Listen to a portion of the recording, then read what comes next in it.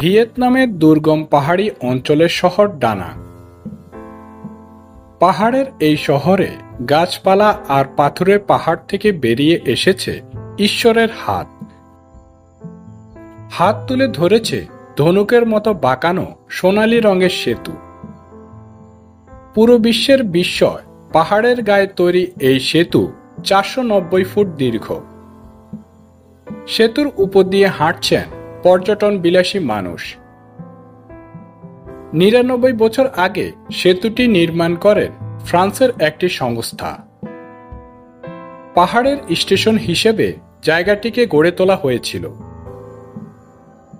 এখানে রয়েছে পাহাড়ের উপর দিয়ে চলাচলের জন্য কেবল কার, অসংখ্য প্রাসাদ আর ক্যাথেড্রাল সমৃদ্ধ মধ্যযুগের ফরাসি অধ্যুষিত গ্রামের রেপ্লিকা। আছে পরিপাটি করে সাজানো সব বাগান। বিস্ময়কর স্থাপত্য শৈলীর কারণে সেতু থেকে ডানাং শহরের আগাগোড়া দেখা যায় অনায়াসেই। বিশ্বের নানান দেশ থেকে পর্যটকেরা সেতু দেখতে ঢু মারছেন ভিয়েতনামে। গত বছর এক কোটি তিরিশ লাখ বিদেশি পর্যটক এসেছিল সেতুটি দেখতে।